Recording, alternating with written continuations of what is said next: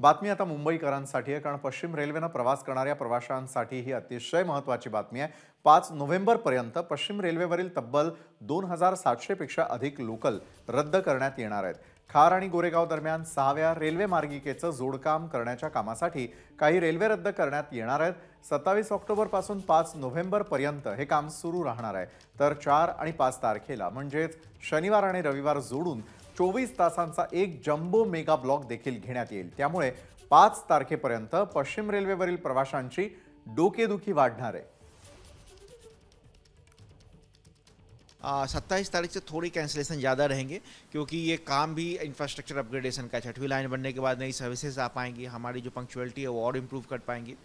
तो ये आने वाले जो 27 अक्टूबर से लेकर के 5 नवंबर तक कुल 2500 के आसपास गाड़ियाँ कैंसिल होंगी जो लो, लो, लोकल ट्रेन हैं। पच्चीस सौ आप सर्विसेज़ आप बोल सकते हैं पच्चीस सौ के आसपास सर्विसेज़ कैंसिल्ड होगी।